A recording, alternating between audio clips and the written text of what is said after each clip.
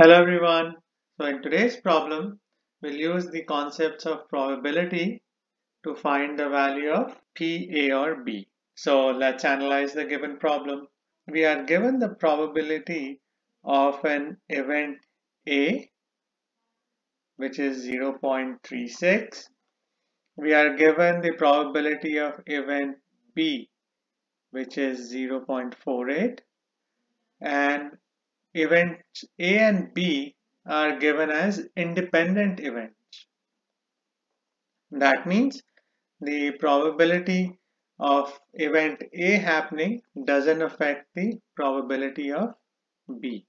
So that's what independent events mean that uh, they don't affect each other's probability and we have to find what is the probability that either A or B happens. So the first step to solve this problem is to use the rule of addition formula for probability.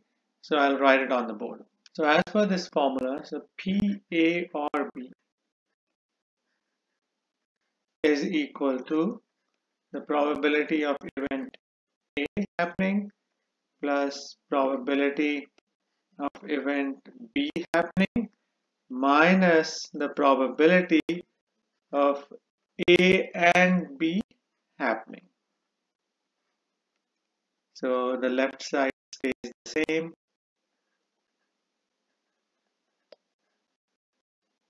So the probability of event A is 0.36 plus the probability of event B is 0.48 minus now since these events are independent events, we can use another formula for independent events to calculate the probability that A and B happen together.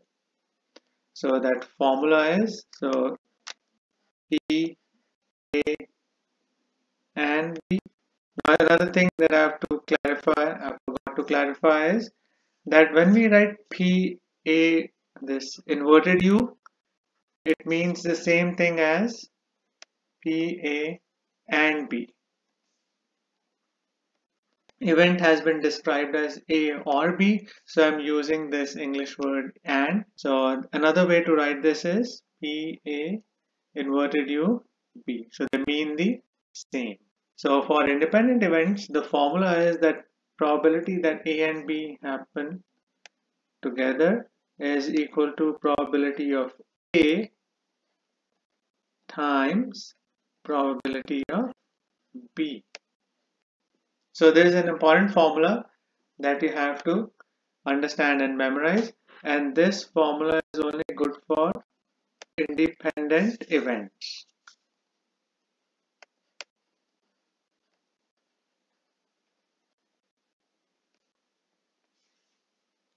This is not good for dependent events. So now we can do this calculation. So P array is 0 0.36 times uh, 0 0.48 0 0.1728. So this is the probability for P, A and B.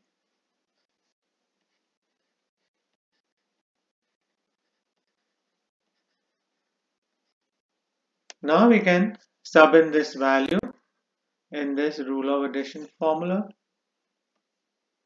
So it goes to 0 0.1728.